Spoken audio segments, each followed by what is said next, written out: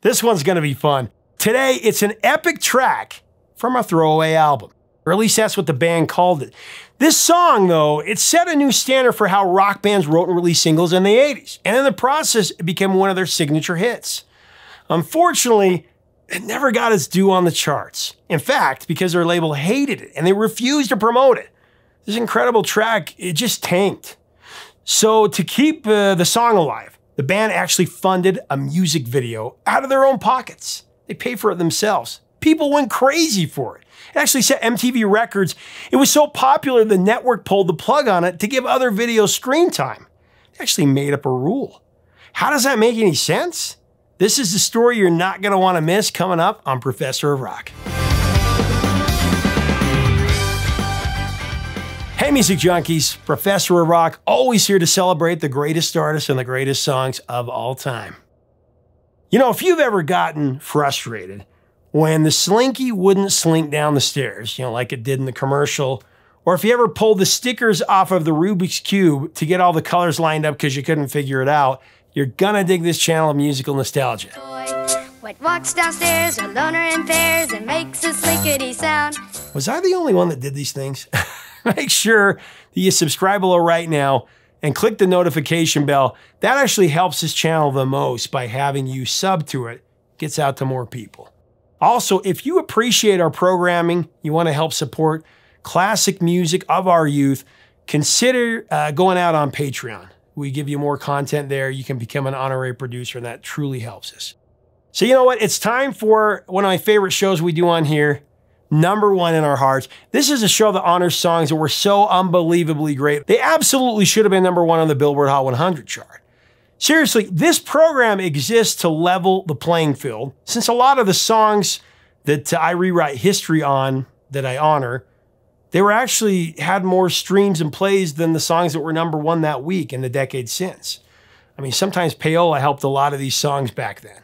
Now, previous episodes, we've covered Hysteria by Def Leppard, What It Takes by Aerosmith, and Mom, I'm Coming Home by Ozzy Osbourne.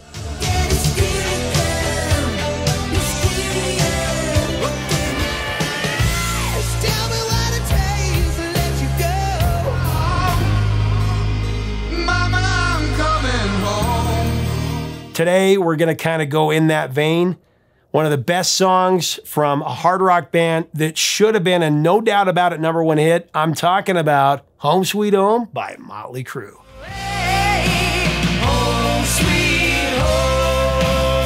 After the multi platinum success of Motley Crue's 1983 sophomore LP, Shout at the Devil, the band went through uh, a couple of turbulent years. Kind of like the turbulent time they're going through right now. Crue's hedonistic extracurricular activities have been well documented. We've already covered some of that on this channel. Uh, so I'm going to forego the details here. It's kind of a family channel here. Let's just say these guys were the poster boys for sex, drugs, and rock and roll. Kicked into overdrive, I must add. And by the recording of their third studio album, Theater of Pain, it was starting to catch up with them uh, big time. Motley Crue had earned a legitimate reputation for being a reckless and dangerous band, which makes for an interesting contrast to the song that we're about to cover. The recording process for Theater of Pain, that began in January of 85 and it extended into the following May.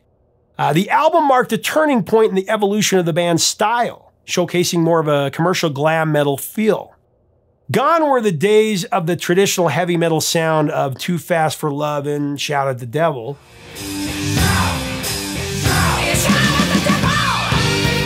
Which actually made Theater of Pain one of Motley Crue's least favorite records by uh, any fan's account. Um, in fact, they considered most of its songs throwaway tracks, the band did.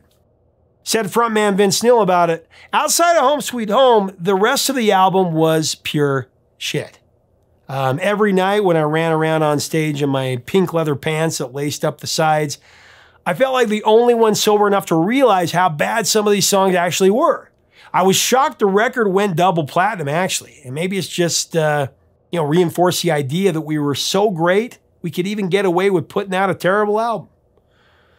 Pretty harsh words there from Vince, but regardless of Vince Neil's assessment, Theater of Pain reached number six on the Billboard 200 albums chart. And you know, internationally, it went to number 36 in the UK, it went to number 25 in Switzerland, number nine in Canada, seven in Sweden, and number five in Finland. And actually, the RIAA also certified it quadruple platinum in 1995, so it sold 4 million copies, even better. Singles included a reworked version of Brownsville Station's uh, Smoking in the Boys' Room and today's featured song, Home Sweet Home.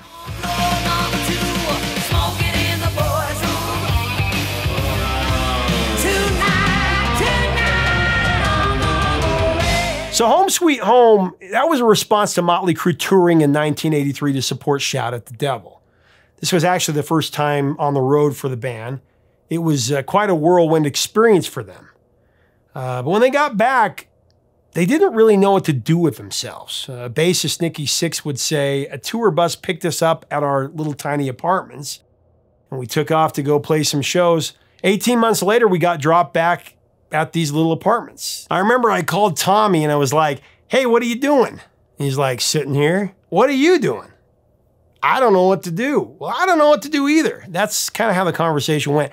So they just started writing their next album from there. That's when Home Sweet Home really came out. It just fell out. The lyrics really came from that feeling of being gone so long and wanting to come back home, which the guys called ironic because all you ever want to do when you get in the band is go out on the road. But then when you're out on the road, all you want to do is come home.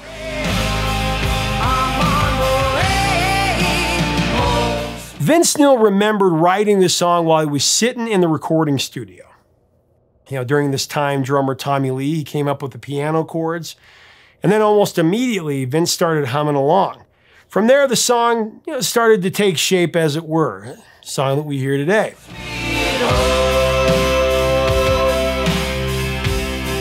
Nikki Sixx elaborated on Neil's memory, saying that he had been messing around with the song's riff since he was about 17. He'd never really been able to flesh it out. Then one night, as they were leaving rehearsal, Tommy started mimicking the riff on the piano. And, uh, you know, he added some of his own panache to it. Then everything, it just fell into place.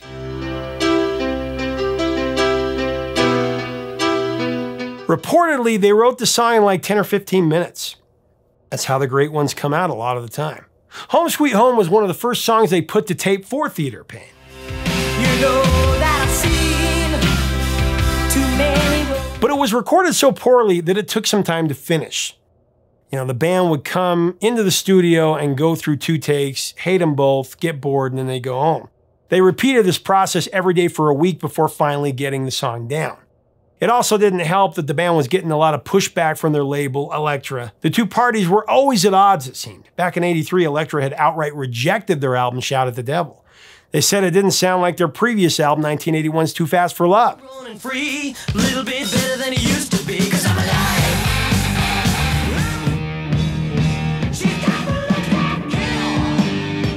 so the guys told them they'd start looking for a new label. So then Elektra caved and released Shout at the Devil. Nikki Sixx said, it sold 4 million copies. Elektra was about to go bankrupt at that time, and you know what? We saved their ass. Now, as we continue to break down, celebrate this song, I do want to thank our sponsor, Zenni Eyewear, the glasses I always wear. It's really simple. You just click on the info button right up here, get the best price on prescription glasses, up to 80% off regular retail prices. Uh, you choose your own design, the price is so good, you can get like two or three pair for what you'd pay for one with other brands. Try it today. Click on this.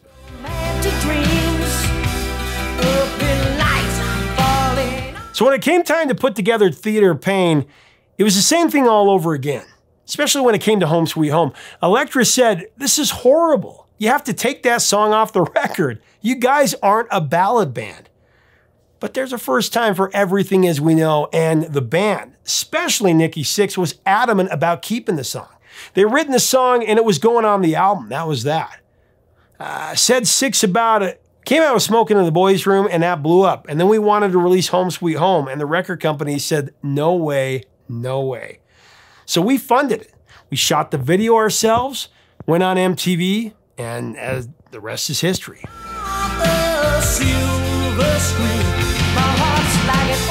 So without any support from the label, Home Sweet Home entered the Hot 100 on October 26, 1985.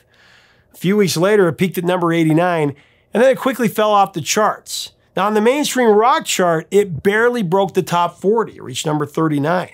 In the UK, Didn't fare very well either. Peaked at number 51. Such a waste. This epic song achieved so far below its potential because Elektra refused to have anything to do with it. They never worked it at radio at all. They never promoted it. If it wasn't for MTV, Home Sweet Home would be an all but unknown song today. I mean, you'd think that the label would have learned their lesson from the previous record when they wouldn't release Shout at the Devil and then it sold 4 million copies. So, taking matters into their own hands, Motley Crue paid for the music video out of their own pockets and they submitted it to MTV. And that's the only reason it did as well as it did.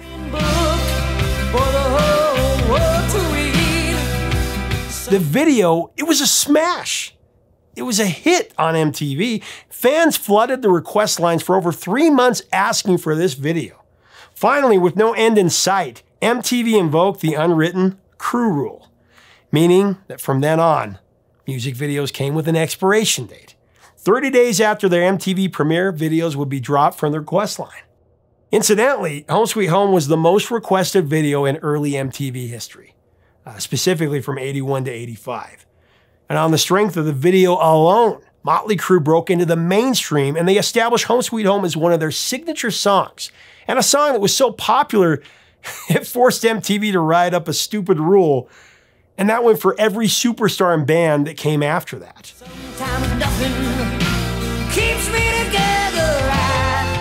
In this process, Motley Crue inadvertently introduced the concept of the commercial power ballad. I mean, before Home Sweet Home, power ballads didn't really factor into most bands' single release strategy. But after Home Sweet Home, it seemed like every rock band had a ballad ready uh, for release as their second or third single, just to try and expand their audience.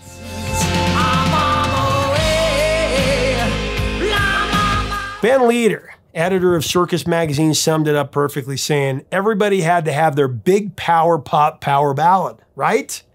And you got to drop your two heavy tracks first so you don't lose credibility. Then the power ballad comes six months down the marketing cycle because that's what's going to sustain the sales and break a band even bigger. You know, get all the girls who aren't involved and help sell out shows. Oh, But because the band came out rocking, you know, the guys, they're just not turned off about it. It would be a formula that would be critical to commercial success of just about every 80s hard rock act after Motley Crue established it. True, Home Sweet Home wasn't the first power ballad ever written. I mean, bands like Styx and Journey, the Scorpions, and Night Ranger had already tested out this dynamic before.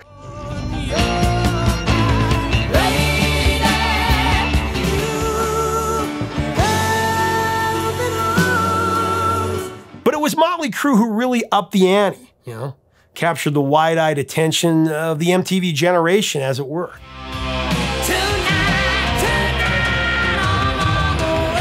In 1988, Poison released Every Rose Has Its Thorn. Now, that was the third single on the album after Rockers' Nothing But a Good Time and Fallen Angel came out.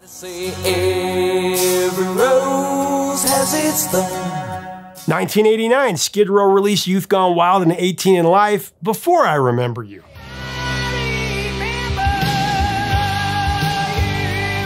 Whitesnake, they released Is This Love After Still the Night and Here I Go Again in 87.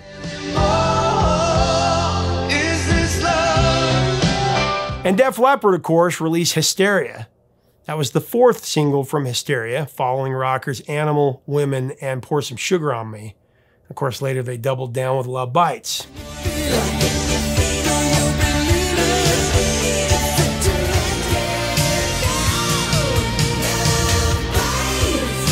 Even Guns N' Roses played the game.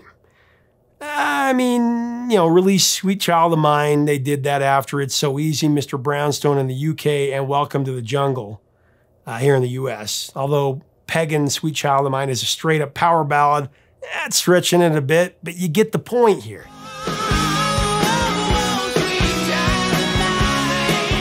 So, what were the results? All of these power ballads were monster commercial hits. Hysteria went to number 10. I Remember You went to number 6. Is This Love went to number 2. And Every Rose Has Its Thorn, Love Bites, and Sweet Child of Mine, they all went to number 1.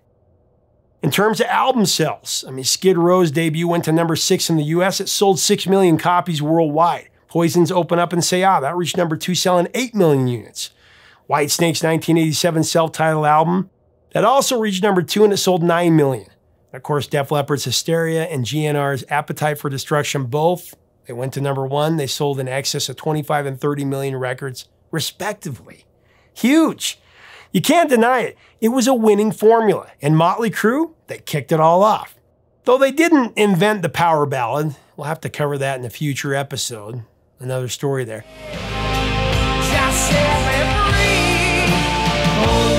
But maybe an example of what not to do will help drive the point home. In 1985, Twisted Sister released a lead-off ballad from their album Come Out and Play. Uh, this song was a bubblegum pop metal cover of the Shangri-Las, number one hit Leader of the Pack.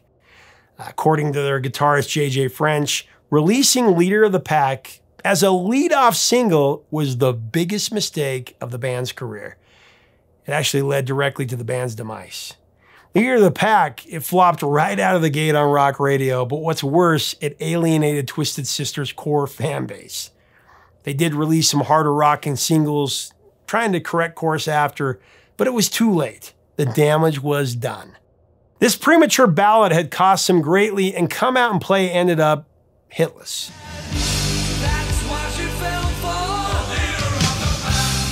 The lesson learned here is save your power ballad for the second or third single at least the lessons we learned in the 80s.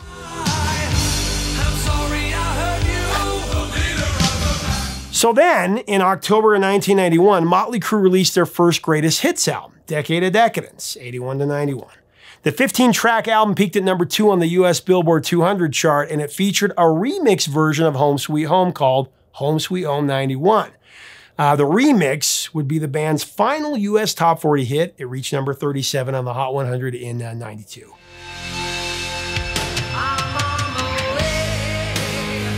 Still, an impressive feat as grunge was just starting to come on. Now, for the re release, the band also made a new video, this time a black and white clip directed by Matt Mahurin.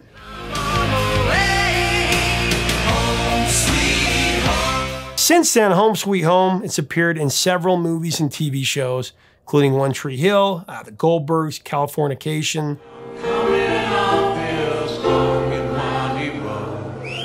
Billions, Hightown Peacemaker.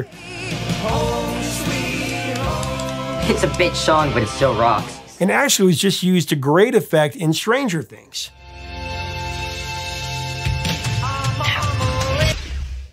Actually, a parody of the Home Sweet Home video was used for the end credits of Hot Tub Time Machine with Lou Violator Dorchen decked out in uh, Vince Neil's purple vest, white tiger stripe spandex, and his headband.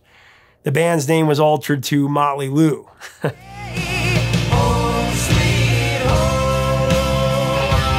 Home Sweet Home also has had a lot of covers. Been covered by Daughtry, John Mayer, Nickelback, Slaughter.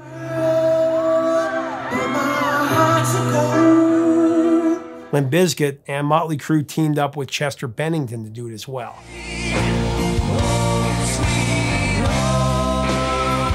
Actually, in 2009, Carrie Underwood recorded a country version of the song for American Idol.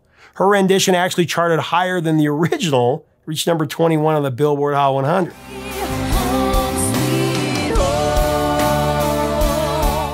Despite its overall lackluster performance on the charts, though, Home Sweet Home still became a signature song for the Crue, And it remains one of the most popular tracks in concert. I mean, have the label promoted it effectively, I know it would have been at least a top 10 hit. With its popularity on MTV, it might have pulled off the first number one hit by a hard rock band in the glam metal era. Who knows?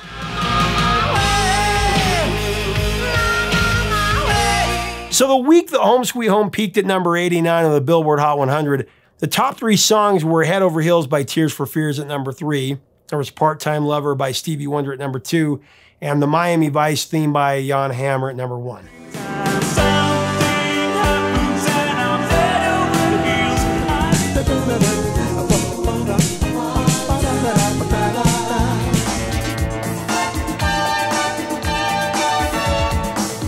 Now, normally on these episodes, I like to rewrite history and give one week from the chart topper to our featured song.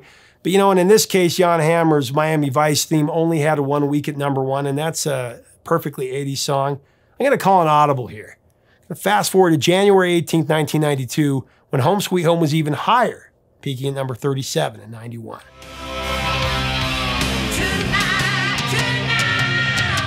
That week, the top three songs on the Hot 100 were Mariah Carey's Can't Let Go at number three,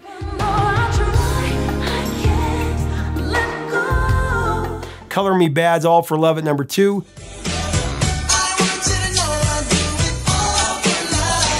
and Michael Jackson's Black or White at number one.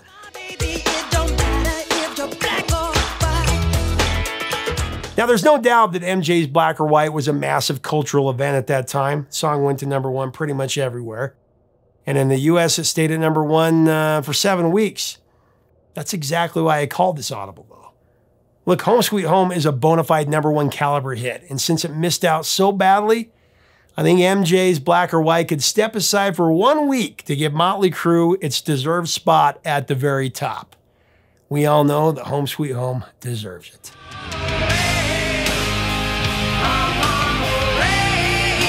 This song was about the only track from Theater of Pain that I dared play out loud on my stereo from my Theater of Pain cassette. You know, I was in fear that my mom might take it away based on the fallacy that all hard rock and metal bands were devil music.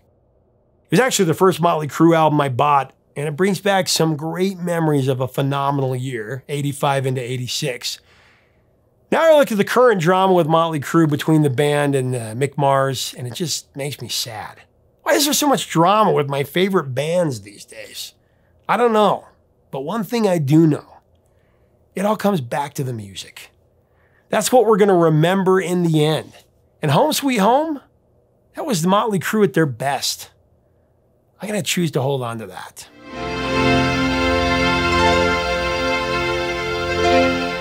Hey, thanks so much for watching. Leave us a comment about Motley Crue and Home Sweet Home.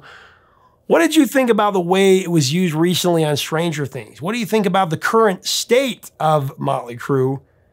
Most importantly, what are your memories of this song? Let us know in the comments below. If you dig this content, love to have you subscribe, love to have you part of our community here. Until next time, three chords and the truth, my friends.